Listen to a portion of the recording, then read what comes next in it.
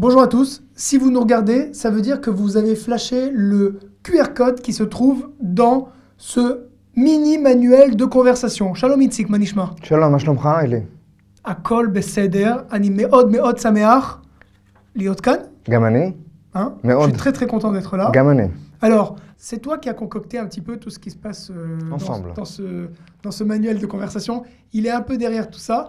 Donc, ce qu'on va faire, c'est qu'on va vous l'expliquer tout de suite avec Itzik, notre prof d'hébreu.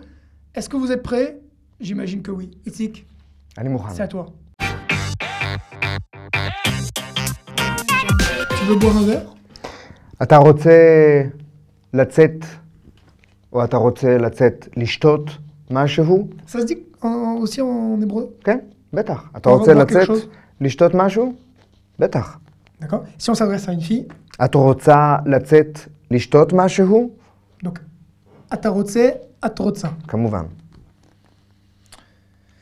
Euh, bon, les filles en général, elles vont dire euh, non, désolé, je suis débordée.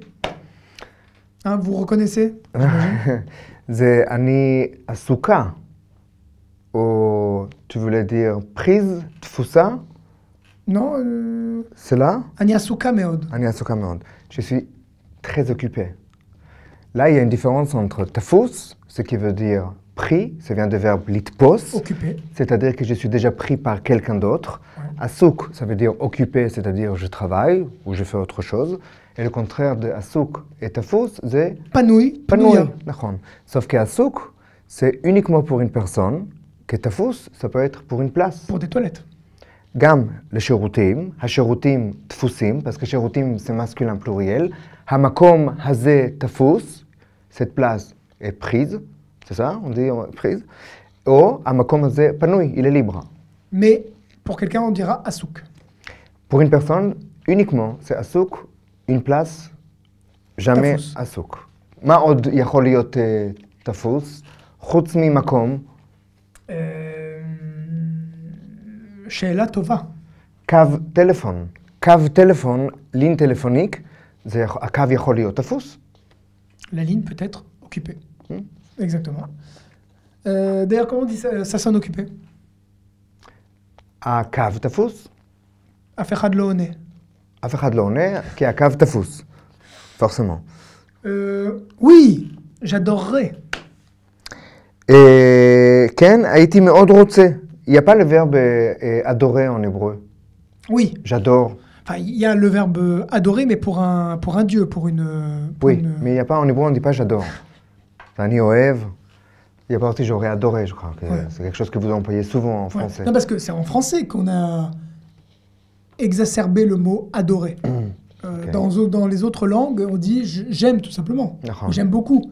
Et c'est vrai qu'en France, on exagère, on dit j'adore. Alors qu'à la base, le mot adoré dans toutes les langues, c'est que pour les divinités. D'accord. Ça se dit aussi à Marseille qu'à à Paris. Bah évidemment. oui, j'adore Annie. Mama Shorotza. C'est une fille qui parle. Ken. Lorotza Bichlal. De tout. Bichlal. C'est toi qui régale. C'est toi qui régale. Atamazmin. Je connais pas le mot régal. Bon, c'est toi qui, toi qui invite quoi, c'est toi qui. Ok. Im aniba. C'est toi qui, qui paye, atam shalem. Voilà. אם אני רוצה ללכת איתך למסעדה, אני מזמין אותך, זה תדיר, זאת אומרת, אני משלם עליך. אוקיי. עליך אומרים? כן. או בשבילך?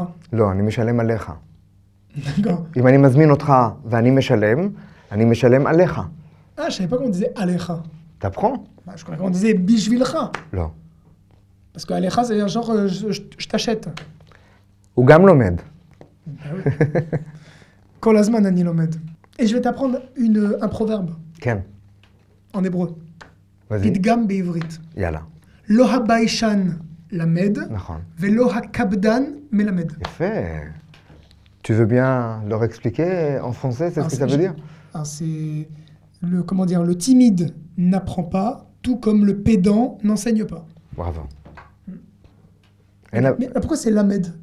l'Obaïchan Lamed. C'est les mots littéraires. Ah, c'est un mot très littéraire. Très littéraire. Lamed et non l'Omed quand c'est très littéraire.